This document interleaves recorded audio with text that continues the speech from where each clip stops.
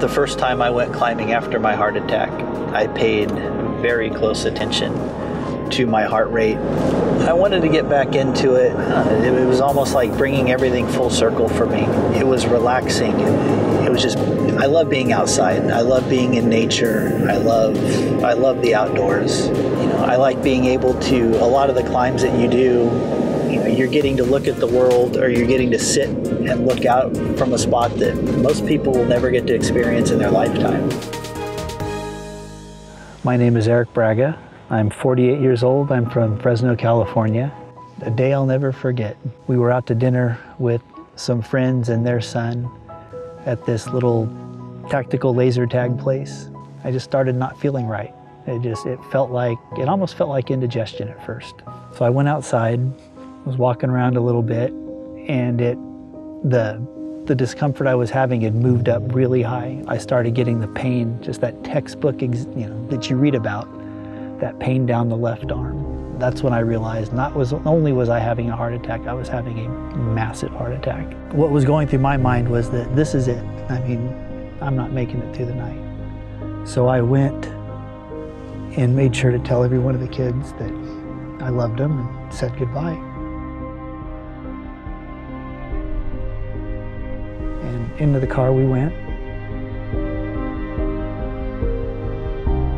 Eric came into the hospital with uh, a problem with his heart that brought him in here. In his case, what started the whole problem was a heart attack. Cardiogenic shock is a very dangerous condition. Specifically, we have less time because the heart is starting to fail and work less and less. And as a result, it's important to do whatever we can to restore the function of the heart, to help the heart.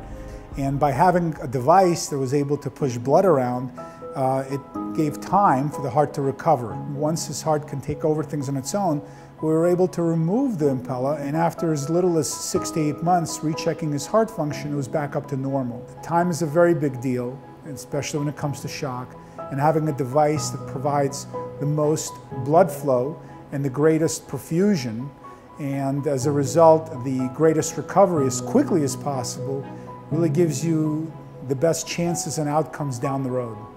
I couldn't believe I was still alive when I woke up. I, I was just, I couldn't believe it. After I was out of ICU and in the tele unit, they came in and explained what they had done to me and what the Impella device they had put in and what it had done. There's so many things that we can do in modern medicine now that are just astounding. I mean, this event that I had, if this would have been 15 years ago, I wouldn't be sitting here right now. So for for the companies like Abiomed that are constantly pushing that technological envelope with new developments, it's amazing. I truly believe heart recovery is possible. I mean, I'm, I'm sitting here because of it. Heart recovery has allowed me to return to the one sport I truly love, and that's rock climbing. And this is only the beginning.